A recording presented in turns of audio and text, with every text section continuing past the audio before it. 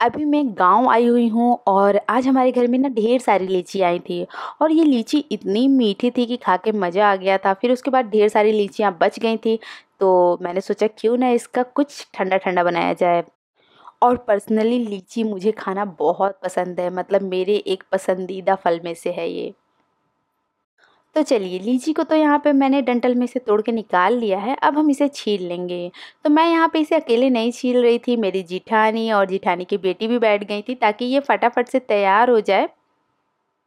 गर्मियों की छुट्टी में ही थोड़ा सा समय मिलता है, जब हम अपने परिवार के साथ बिता पाते हैं, क्योंकि उस समय होती हैं बच्चों की छुट्टियाँ।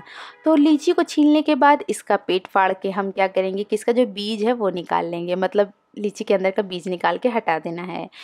तो यहाँ पे पूरा एक कटोरी मैंने लीची ले लिया है। अब आप यहाँ पे मिक्सी का जार ले लीजिए और ये जो लीची का पल्प हमने निकाला है, उसे हम जार में डाल देंगे।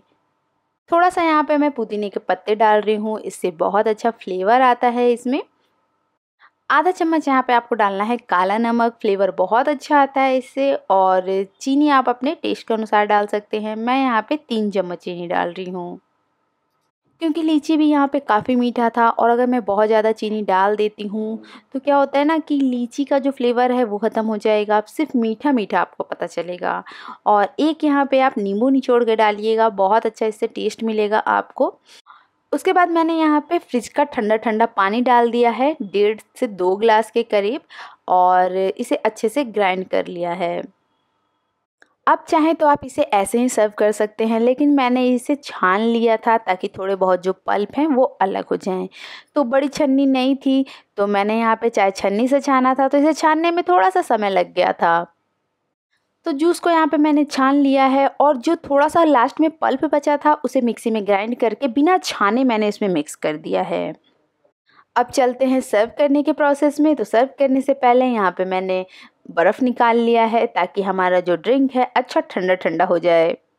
तो यहाँ पे मैंने एक गिलास में दो आइस क्यूब डाला है। आप अपनी आवश्यकता अनुसार डाल सकते हैं। और नॉर्मली जो आप मार्केट का लीची का जूस पीते हैं ना, उसमें काफ़ी मिलावट होती है। जब घर में आप बना के पियेंगे, तब आपको पता चलेगा कि एक्चुअली लीची के जूस का स्वाद क्या होता है। और सर्व करने से पहले यहाँ पे मैंने पुदीने के पत्ते एक लगा दिए हैं ऊपर से ताकि ये देखने में अच्छा लगे। उम्मीद करती हूँ आज की आपको रेसिपी आपको पसंद आई हो। अगर आप चैनल पर नए हैं तो फ्रेंड्स फैमिली में शेयर कीजिएगा और चैनल को सब्सक्राइब कीजिएगा। तो मैं चलती हूँ इसे अपने फैमिली में सबको सर्व करने के लिए। मिलते हैं एक और नई रेसिपी के साथ। तब तक के लिए बाय बाय